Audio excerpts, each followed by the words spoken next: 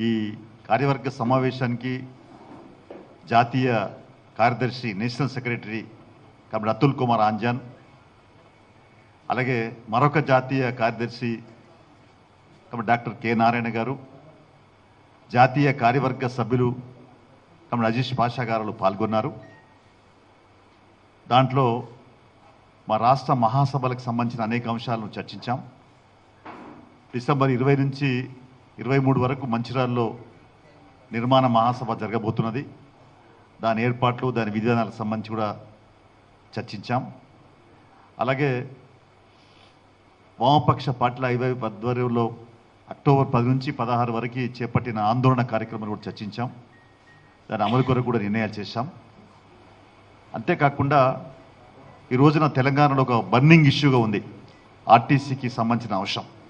RTC కార్మికులందరూ కూడా జేఏసీకి ఏర్పడి సమ్మె నోటీస్ ఇచ్చారు ప్రభుత్వానికి. పక్క ఆంధ్రప్రదేశ్లో అక్కడి ప్రభుత్వం ఆర్టీసీని ప్రభుత్వం విలీనం చేయడానికి నిర్ణయించింది. మంత్రివర్గ ఉపసంఘం వేసింది. వాళ్ళ జీతాల భత్యాలకు సంబంధించి లేదా ఆర్టీసీలో నెలకొన్నటువంటి సమస్యలకు సంబంధించి మరి ప్రత్యేకంగా ఎక్స్పర్ట్ కమిటీ నిపుణుల కమిటీ కూడా వేసింది. ఇక్కడ తెలంగాణలో కూడా ఆర్టీసీ నిజంగా చెప్పాలంటే రవాణా అంతా కూడా పేద వర్గాలకి ప్రజలకి ఈ ఆర్టీసీ ప్రధానమైన రవాణా సౌకర్యం.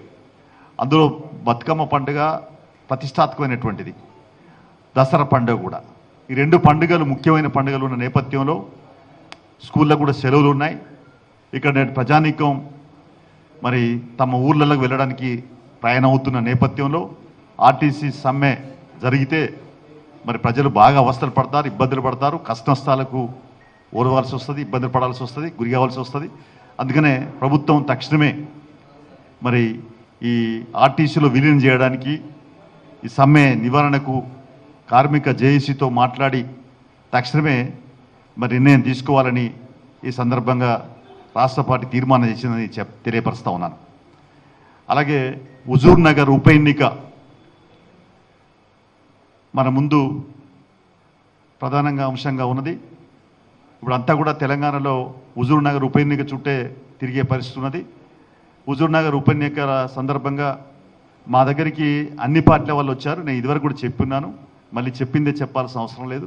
రాష్ట్ర కార్యవర్గంలో బాగా చర్చించి ఆలోచించి అందరి అభిప్రాయాలు తీసుకొని సమన్వయంతో ఏదైనా ఈనాడు ఉన్నటువంటి రాజకీయ పరిస్థితుల్లో మరి టీఆర్ఎస్కి బలపరచాలని హుజూర్ నగర్లో టీఆర్ఎస్ని గెలిపించాల్సిన బాధ్యత మరి ప్రజలపైన ప్రజలకు వివరించాలని రాష్ట్ర పార్టీ నిర్ణయం చేసింది.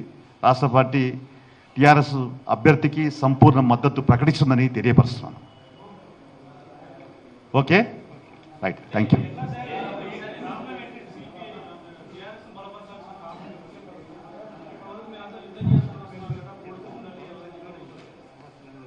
communist party ఒకవైపున మీ అందరికీ కూడా తెలుసు ఉద్యమాలు ప్రధానం కమ్యూనిస్ట్ పార్టీకి. పార్లమెంటరీ పంతా కూడా ఒక ఒక వేదిక. అయితే మీ అందరికీ కూడా తెలుసు గతంలో కూడా మేము టీడీపీతో మిత్రపక్షంగా ఉన్నా కాంగ్రెస్తో మిత్రపక్షంగా ఉన్నా ప్రజా సమస్యలను ఎప్పుడు కూడా మర్చిపోలేదు. ప్రజా సమస్యలపైన అసెంబ్లీలో కూడా మిత్రపక్షంగా ఉన్నప్పుడు అసెంబ్లీలో మాట్లాడినాం లేదా బయట ఉద్యమాలు చేశాం. అలాగే ఇలా హుజూర్ నగర్లో టీఆర్ఎస్కు మద్దతు ఇచ్చినంత మాత్రాన ప్రభుత్వం ఏదైనా తప్పులు చేస్తే తప్పుడు నిర్ణయాలు చేస్తే ఎత్తి చూపెట్టమని కాదు. తప్పనిసరిగా గుర్తింపజేస్తాం వారి దృష్టికి తెస్తాం పరిష్కరించమని కోరుతాం.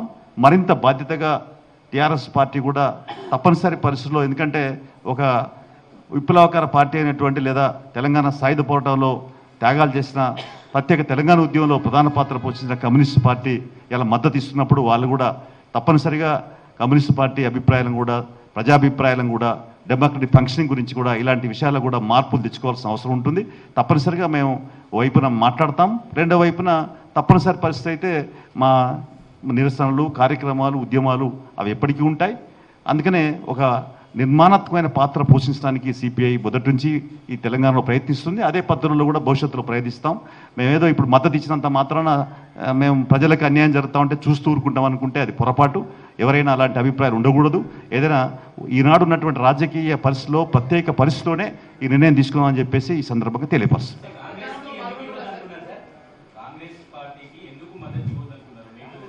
మీకు తెలుసు కదా చారి గారు మీకు బాగా తెలుసు. కాంగ్రెస్ అనేది అసెంబ్లీ ఎన్నికల వరకే పొత్తులో ఉన్నది. అసెంబ్లీ తర్వాత మాతో టచ్లో లేదు. పార్లమెంట్ ఎన్నికల్లో మేము ఒంటరిగానే వామపక్షాలు కలిపి చేసినాము అందుకనే అక్కడనే గండిబడి ఏది కాంగ్రెస్ పార్టీకి మాకు సంబంధించి. కాబట్టి ఇప్పుడు మళ్ళా కాంగ్రెస్ పార్టీకి సంబంధించి వాళ్ళు కూడా అడిగినారు మేమేమి శత్రుపక్షంగా చూడట్లేదు. ఎందుకంటే కలిసి పనిచేసినామని ఈవెన్ టీడీపీలు కూడా అడిగినారు. లేకుంటే ఇప్పుడు సిపిఎంలో కూడా అడిగినారు. మేమేమి వాటన్నింటినీ దృష్టిలో పెట్టుకున్నాం. ఏదైనా ఉన్న నేపథ్యంలో ఈ ఒక డెమోక్రటిక్ ఫంక్షనింగ్లో ఇవాళ తెలంగాణలో తప్పనిసరిగా మరి ఈ ఉప ఎన్నికల్లో టీఆర్ఎస్కు మద్దతు ఇవ్వడం ద్వారా మరి భవిష్యత్తులో డెమోక్రటిక్ ఫంక్షనింగ్ తెలంగాణలో మనం తెచ్చుకున్న తెలంగాణలో ప్రజా సమస్యల పరిష్కారం కొరకు ప్రయత్నం చేయాలనే అభిప్రాయంతోనే మద్దతు ఇచ్చామని చెప్పి తెలియపరుస్తుంది ప్రస్తుతం హుజూర్ నగరు భవిష్యత్తును భవిష్యత్తులో ఏం ఏం నిర్ణయం తీసుకున్నది తర్వాత తెలియపరుస్తాం. మద్దతు ఇచ్చినప్పుడు తప్పనిసరిగా పాల్గొంటారు కదా. తప్పనిసరి పాల్గొంటారు మద్దతు ఇచ్చినప్పుడు. థ్యాంక్ యూ నిరంతర న్యూస్ అప్డేట్ కోసం ఛానల్ను సబ్స్క్రైబ్ చేయండి. పక్కనే ఉండే బెల్ సింబల్ను క్లిక్ చేయడం మర్చిపోకండి. అప్డేట్స్ని మిస్ అవ్వకండి. Thanks for watching please like comment share follow on Facebook Google plus Twitter Instagram for more updates please subscribe great Telangana TV